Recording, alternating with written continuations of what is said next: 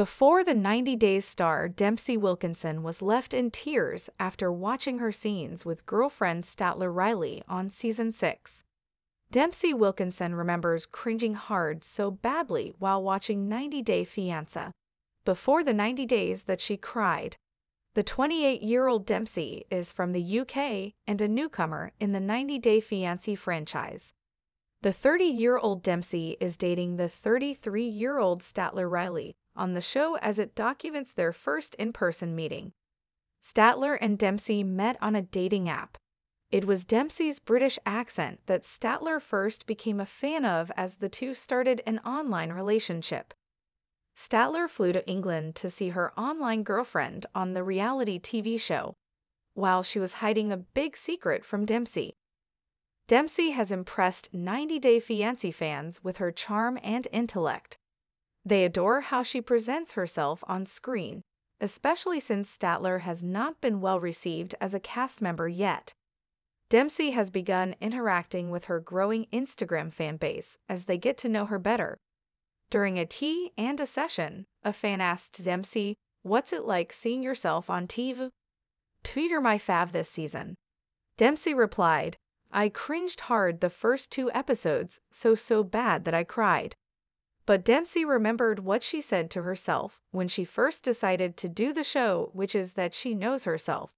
And I'll have fun with it, and it doesn't matter how I'm perceived on the show, she added. Dempsey knows that no matter what happens, her loved ones will always support her, and so will she. Dempsey joked that for now her scenes on 90 Day Fiancé before the 90 days are not making her cringe, but we will see. Dempsey and Statler's first meeting was awkward, but it gave hope of a bright future ahead for the couple. As episodes started passing by, it became evident that Statler's secret was going to destroy the relationship for good. Statler was looking to move to England and move in with Dempsey without even having met her. Statler then revealed that she'd done the exact same thing with her ex girlfriend, who was also British. Statler's ex girlfriend has realized what was happening and broken up with the 90 Day Fiancé cast member. When Dempsey found out what Statler planned on doing, she was shocked.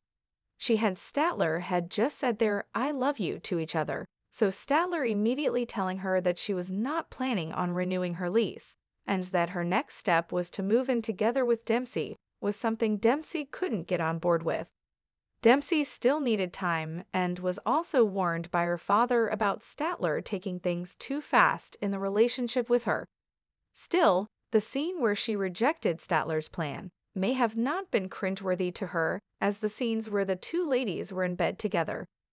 Statler and Dempsey had gotten candid about their first night in bed together. Things got a little too candid when Statler said things like, that kind of B asterisk asterisk asterisk will turn you religious. I want to have an altar that I set up that I worship it. Just have a photo just dedicated to just it. And Dempsey tried to not engage further as she told her partner, enough of the sex talk. Still, Statler and Dempsey's storyline on 90 Day Fiancé before the 90 Day season 6 is far from over. Their Instagram feeds also hint at them still being together even if they don't confirm that Statler is in England with Dempsey now.